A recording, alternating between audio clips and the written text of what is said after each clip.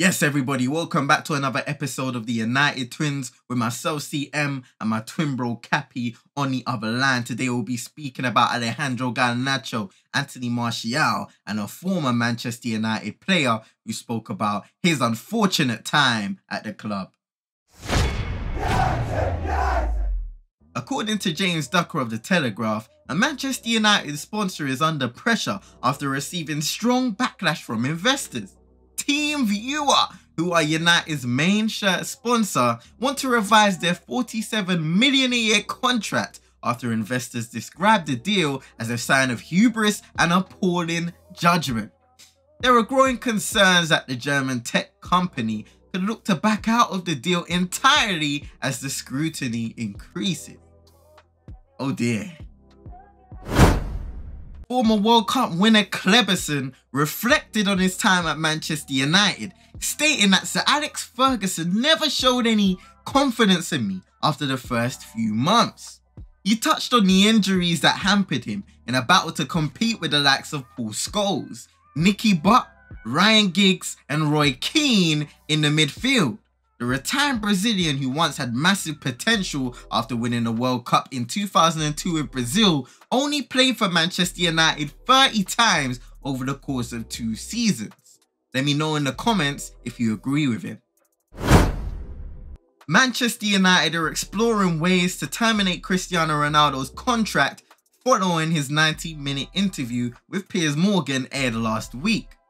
The club released a statement on Friday the 18th stating that the club have initiated appropriate steps in response to the Portuguese international's media interview and will not be making a further comment until this process reaches its conclusion, looking more and more like Ronaldo won't play for the club again.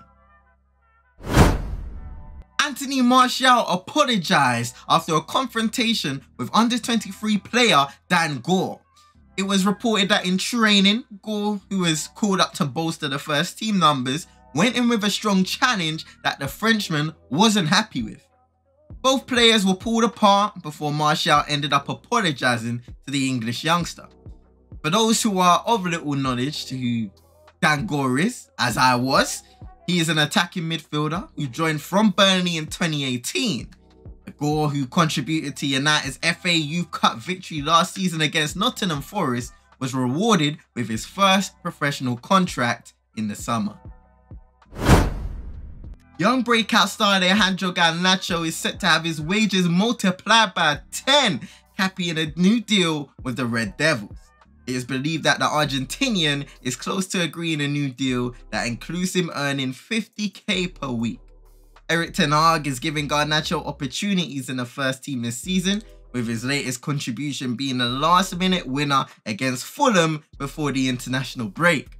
AG's contract expires in the summer of 2023, so it's important that United secure the long-term future of one of their emerging stars. Damn right. Only a matter of time, ladies and gentlemen, but let us know what you thought of all of the reported stories in the comment section below and give us some new ones if we possibly missed out on some in this episode. Be sure to hit the like button if you enjoyed, dislike if you didn't, let us know what we did wrong, subscribe if you're new, share it to your friends and frenemies until the next time. We'll see you lot a bit.